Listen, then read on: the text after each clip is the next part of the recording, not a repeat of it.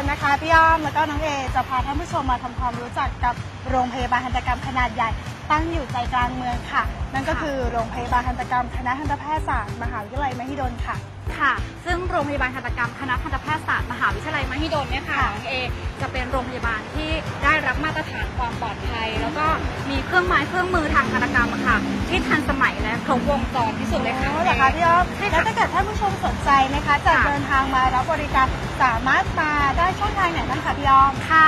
สำหรับการเดินทางนะคะ เป็นการเดินทางที่สะดวกและรวดเร็วที่สุดนะคะ แนะนำให้เป็นการเดินทางโดยรถไฟฟ้า BTS ค่ะค่ะ โดยลงที่สถานีรถไฟฟ้า BTS อนุสาวรีย์ชัยสมรภูมิค่ะน้องเอค่ะค่ะ แล้วก็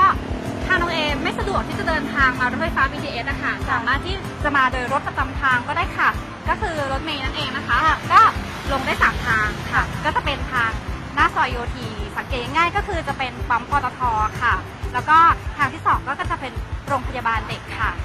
แล้วก็ทางที่สามจะเป็นโรงพยาบาลรามาธิบดีค่ะน้องเอโอ้รู้สึกตื่นเต้นมากเลยค่ะเราไปกันเลยไหมคะพี่อ้อมไปเลยจ้าเดี๋ยวพี่พาเดินไปค่ะ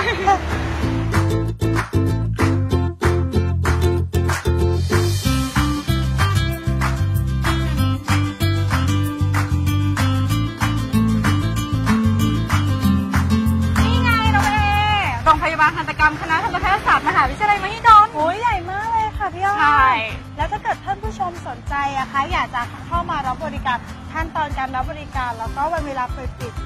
สามารถที่จะถามใครได้อะคะพี่อ้อม เพื่อความถูกต้องของข้อมูลนะ เดี๋ยวพี่จะพาเข้าไปถามเจ้าหน้าที่ที่อยู่ด้านในโรงพยาบาลทันตกรรมเนาะ โอ้ยดีจังเลย งั้นเราไปกันเลยดีกว่าโอเค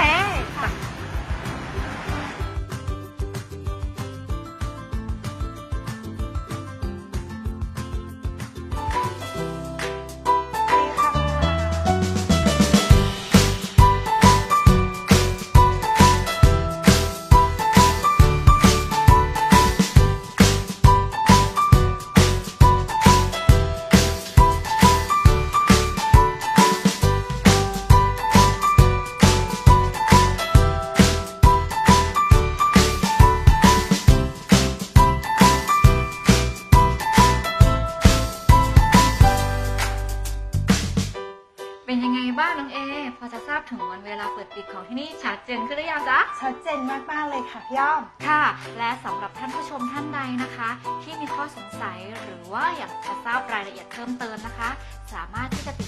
ดตามได้ที่ เว็บไซต์ของคณะนะคะ www.dt.mahidol.ac.th ค่ะ หรือว่าเพจ Facebook ของคณะก็ได้ค่ะ Faculty of Dentistry Comma Mahidol University ค่ะ ยังไม่หมดเท่านี้นะคะค่ะคลิปต่อไปค่ะเราสองคนค่ะจะพาท่านผู้ชมนะคะ ไปเยี่ยมชมขั้นตอนการขอรับบริการทางการตกรรมกันค่ะ ส่วนวันนี้นะคะเราสองคนพี่อ้อมกับน้องเอต้องขอตัวลาไปก่อนนะคะ สวัสดีค่ะ